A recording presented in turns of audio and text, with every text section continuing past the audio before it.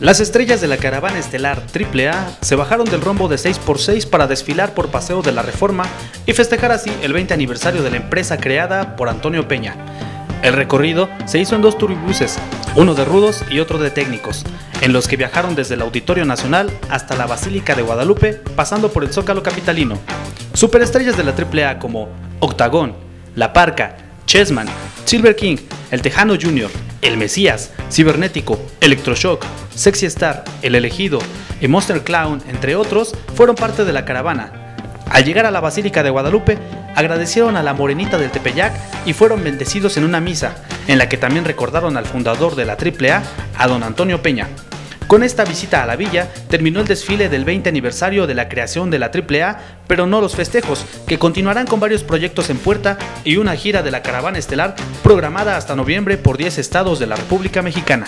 Para más por más, Luis Enrique Gómez.